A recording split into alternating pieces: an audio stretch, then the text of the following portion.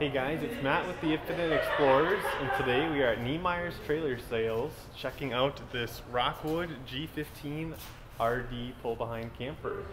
So we have Mitch here with us. He's going to be giving us a tour of it, and we'll check out the exterior first, and then we'll go to the inside.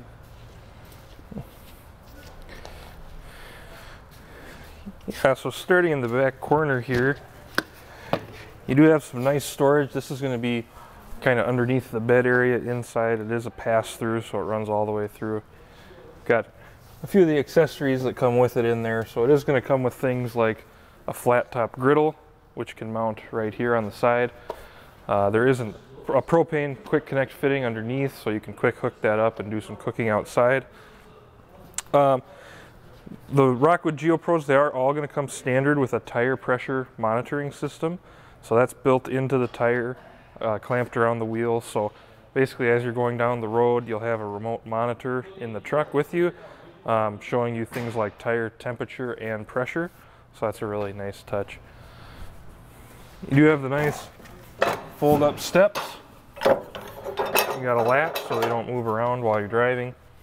But really easy to flip up and down and then they are quick to adjust as well. You can just grab the legs and pull them out to extend them or push this button in to slide them farther in.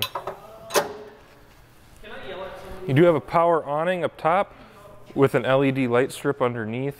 So you can see the light strip even with the awning closed. So if you don't need the awning out, but you want the light, you can do that. You've also got an outside speaker on this side as well. You do have a solar plug in the front corner here. So the unit does come standard with 200 watts of solar. Um, you can order an additional 200 watts from the factory. And then they also all come with this plug on the front. So you can actually buy a portable solar panel that just plugs in right there and will give you some extra solar capacity to help charge your batteries. Going around to the front, you do have a power tongue jack with a small light on it to help you hook up at night. It's going to come standard with two 20 pound propane tanks as well as room for two batteries. You got a small light in the front corner here. Coming around to the other side, you are going to have your sewer drains up in the front here, as well as your low point drains underneath the camper. You do have an outside water connection, so that's basically going to function as your outside shower. So if you need to wash off pets or feet or whatever, you do have access to that right there. Your water connections are going to be out here, so you do have your city water connection right here, as well as an antifreeze inlet that you can use for pumping antifreeze into the camper instead of having to take uh, water lines off of the water pump or anything like that. You do have a six gallon Suburban water heater that'll work off of propane or electricity. And then you've got the other side of your pass-through storage.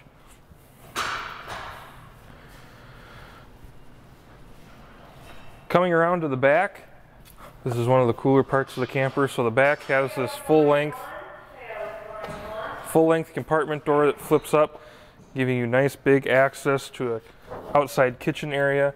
You do have a mini fridge out here that's going to be powered off of 110 volt electricity. You have a rail here so you can also mount your outside griddle in here and do some cooking as well as on the back here. You do have USB outlets in here as well as 110 volt outlets too.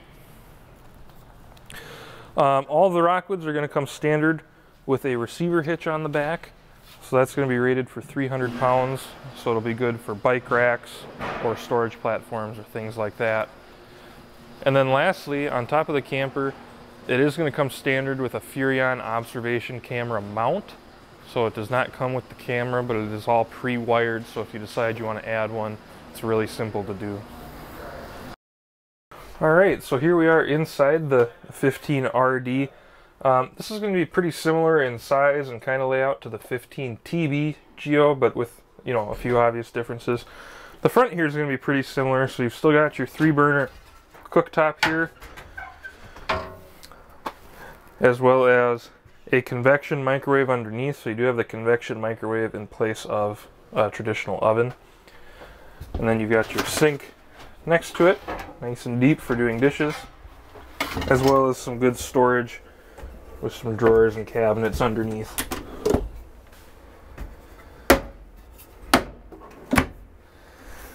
The GeoPros are going to come standard with a 1500 watt uh, WFCO inverter. So the switch for that's right here. So basically what that's going to do is it's going to power some of the outlets in the camper just off of the batteries. So if you're camping where you don't have access to shore power, you can turn that on and still use some outlets in the camper.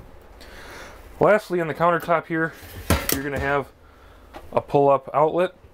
So it is going to give you some 110 volt outlets as well as a USB, USB-C. And that'll just slide back down flush with the counter and then you'll actually have a wireless charging station for your phone. You are going to have a bathroom in this camper. It is going to be a wet bath, meaning the shower is in with the same area as the toilet, but it helps save space and still gives you the amenities that you want.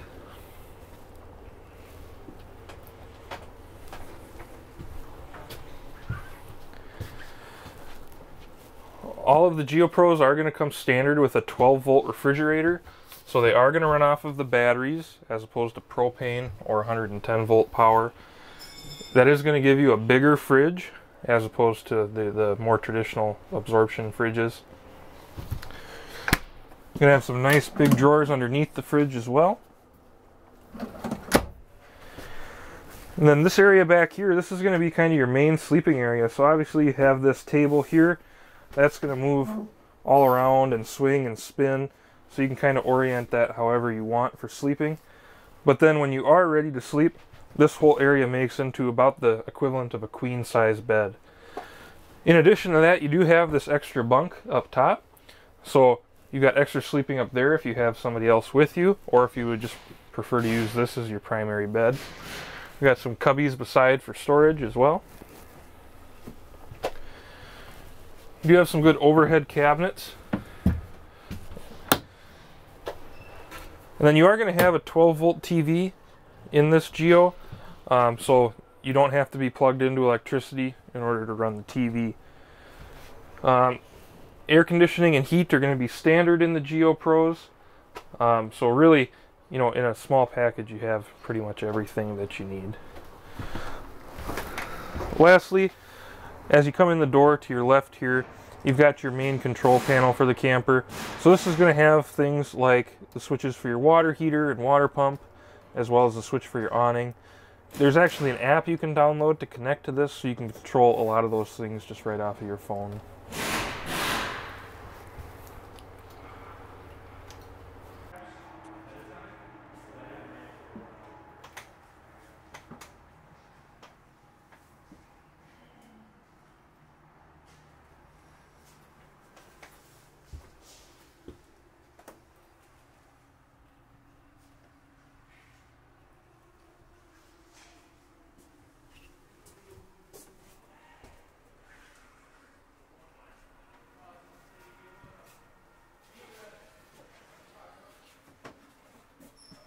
Thank you guys for watching our walkthrough video of this camper.